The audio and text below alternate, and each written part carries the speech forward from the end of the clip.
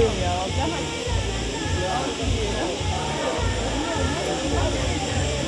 поздно, очень поздно. Ну, снимай. Ой, какая красота!